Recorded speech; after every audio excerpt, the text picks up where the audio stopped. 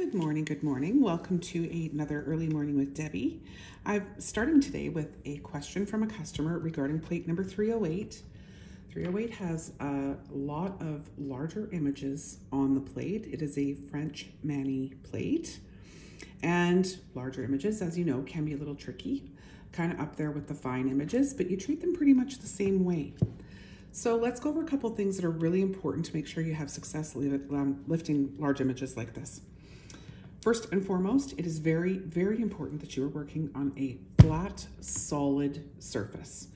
Even having a towel underneath the plate, a paper towel that can give a little bit of movement, you want to avoid that. Be on something that is flat and something that is solid.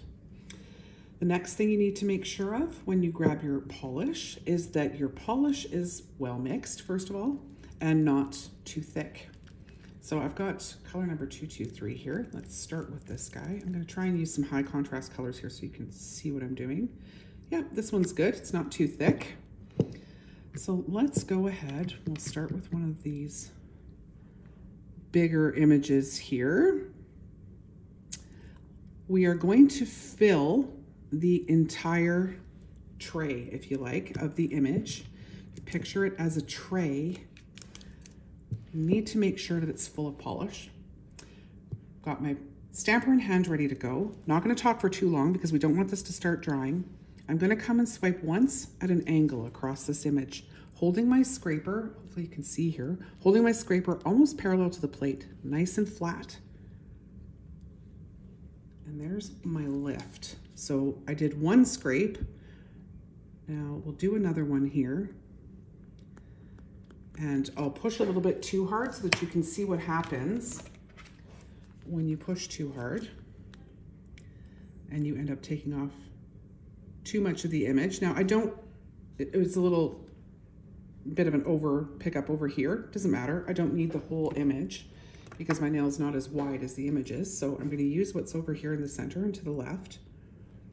And we're just going to come to the nail. I'm going to go up a little higher so we get most of the details on here because I am going to do the second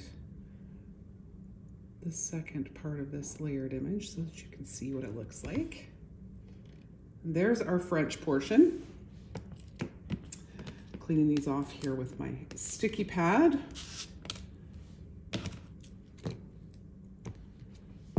And let's go ahead and lift the next part of this image, which is right here beside it. And let's do, let's go, you know what, gold would be really pretty with that. Let's do number 123. Uh, yeah, it was this guy. Okay. I know this is supposed to be about lifting large images, but let's do the whole thing so you can see how it finishes. And those were a little bit delicate, so same thing. Actually, I kind of, that's all I do now when I'm stamping is, is two-handed. I'm just ready to go with that, with that stamper as soon as I scrape.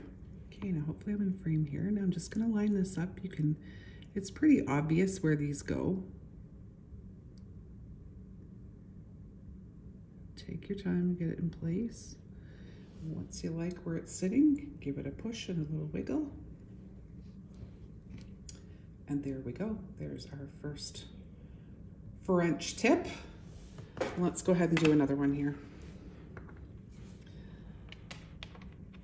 Grab a cotton here, give it a little cleanup.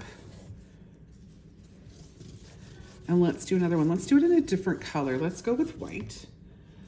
Lots of people like to do the white still. I don't know that I would go with white on these tips, but it's great for contrast to show you what I'm doing. So let's pick another one that's big. Here's another big one right here. And again, I'm gonna basically fill up this tray, if you will. Don't talk too much. That polish has already started drying. So there's the little extra push that I was talking about. Come over again, a little bit lighter that time. And again, we've got that little bit of over pickup over here, but don't worry about it. We can use everything that's over here because our nails are not that wide, right? These are much wider than our natural nails are. Okay, so let's go far up again. I like to go quite far up because I want to get as much of these pretty swirls on there as I possibly can. Give it a wiggle because I've been chatting. I always have a couple of sticky pads. I've got another one over here that I'm that I'm using back and forth if you're wondering why this one looks so clean. Ah, and I pushed a little bit too hard on this tip. I got a little bit of a split in my jelly.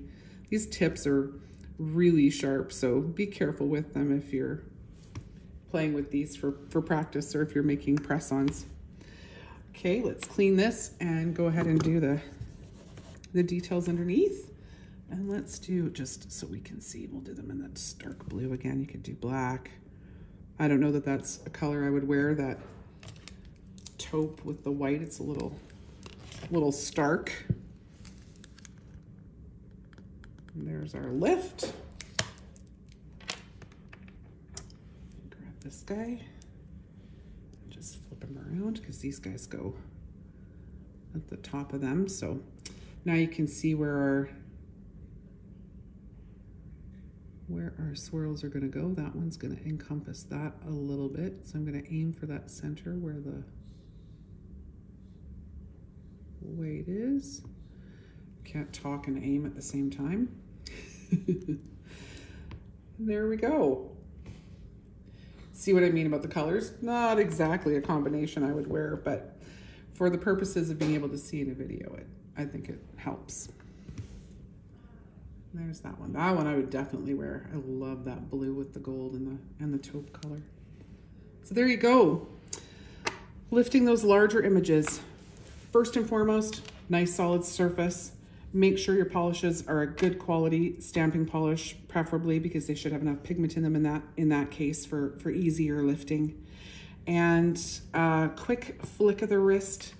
That scrape is gonna be important. So keeping that scraper flat and light, light pressure, right? You saw when I pushed a little tiny bit, it takes out that center. Go again, flatten it, lighten it up a little bit.